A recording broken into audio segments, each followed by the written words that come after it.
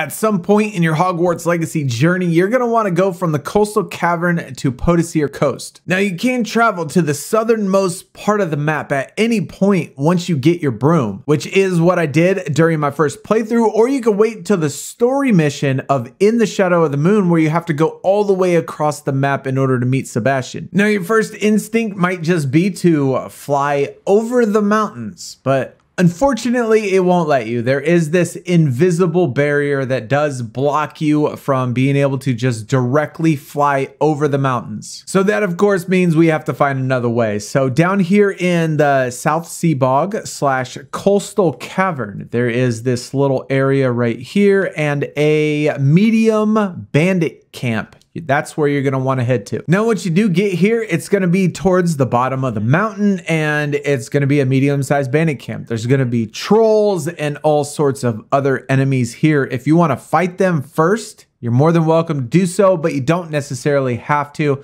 Uh, but once you get in here, if you don't want to fight them or don't want to bother doing it, just fly over it Look down towards the bottom left and you will see a little tunnel. Now you're just gonna run off. You're gonna have to jump off of your broom and then you're just gonna run through here and this is gonna lead you to the other side. Now, along the way, you will have some enemies, so of course you're gonna have to defeat those. Once you run up the path just a little bit, you're gonna see some little train tracks. You're gonna come across your very first Floo flame. It's gonna be on the left side in this little small tunnel. Now you're gonna have quick access to the first Floo flame on this other side of the map. Make a left and then keep running up this little trail.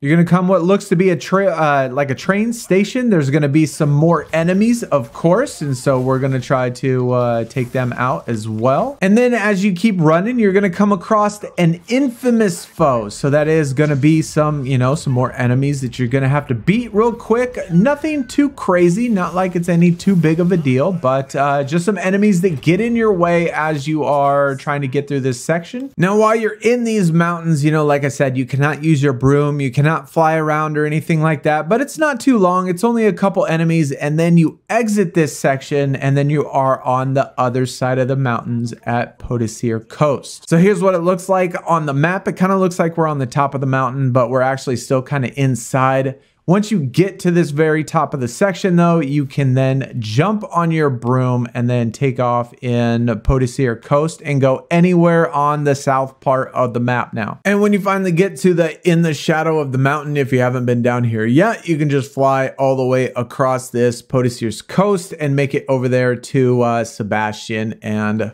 progress in your story. But anyways, hopefully this helped you to be able to get through the mountain. I know my first playthrough it did take me a little bit to find this, but either way, I'll see y'all next time. Y'all take it easy. Out. Peace.